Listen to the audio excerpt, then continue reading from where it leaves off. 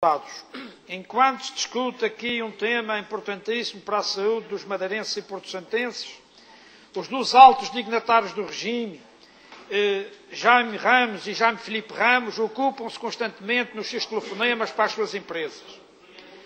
Eh, e é com este estado de indiferença que todo o partido PSD reage a esta situação gravíssima, a esta ameaça à saúde pública, que é as coberturas de amianto a edifícios públicos, hospitais e escolas. A Direção Regional de Saúde concluiu que entre 2007 e 2012 morreram 231 pessoas, uma média de 36 pessoas por ano, devido a este fenómeno do cancro, associado à inalação das fibras de amianto. Eh, o nosso partido não considera isto um assunto de menos importância. Portanto, vamos votar com toda a diligência este pedido de urgência agendado pelo Partido Comunista Português. E o nosso partido é também a voz daqueles que não têm voz. É a voz daqueles, da população do, do Porto da Cruz, ostracizada pelo regime jardinista, corta as verbas à reconstrução da freguesia como vingança pelo sentido de voto que foi contrário aos interesses do PSD é a população de, da Seara Velha, no Corral das Freiras. Houve uma derrocada no caminho da capela. Devido a essa derrocada, a escola fechou, e já não é a primeira vez que isto acontece. Construir uma escola em zona perigosa e instável.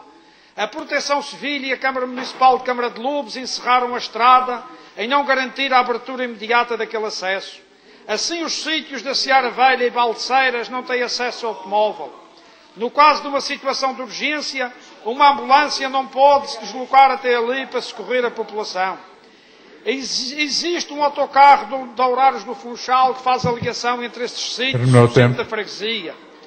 Mas, de acordo com a própria empresa, o autocarro avariou e não foi reparado ou substituído.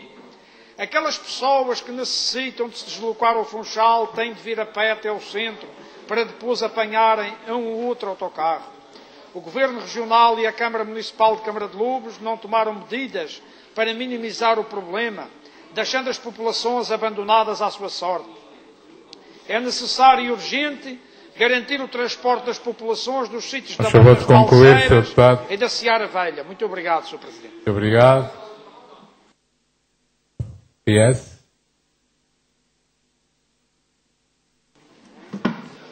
Muito obrigada, Sr.